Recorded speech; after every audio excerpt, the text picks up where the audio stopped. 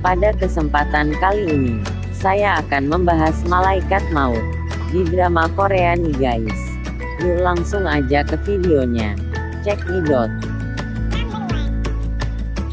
Jung Il Woo, ia memerankan seorang malaikat maut dalam drama 49 Days 2011. Malaikat maut yang satu ini selalu berpenampilan modis, mengendarai motor sport keren. Pokoknya jauh dari kesan malaikat maut yang seram.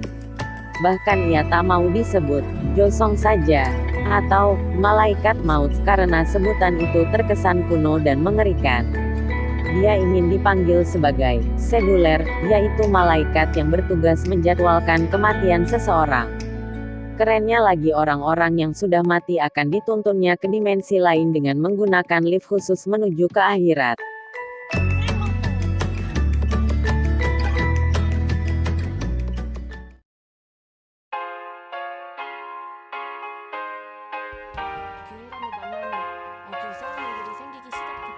2. Kim Saeron High School Lovon menceritakan tentang Lee yang diperankan oleh Kim Saeron. Seorang malaikat maut yang berubah jadi manusia setelah menyelamatkan Shin Won Yun, orang yang harusnya dia jemput kematiannya waktu itu. Akhirnya Lee Seogi mengikuti ke mana pun Shin Won Yun pergi, karena hanya Won Yun manusia satu-satunya yang dia kenal.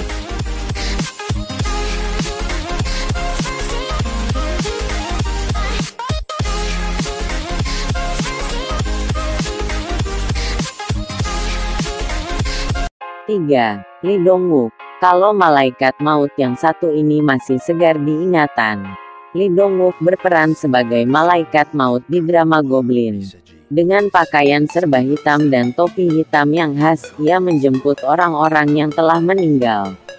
Uniknya di drama ini setiap orang yang meninggal akan diajak untuk minum teh. Hayo, siapa yang tertarik minum teh dengan malaikat maut yang satu ini?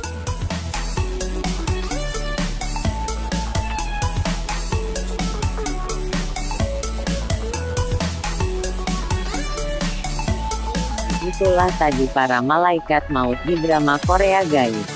Gimana apa kalian tertarik untuk bertemu mereka? WKWKWK.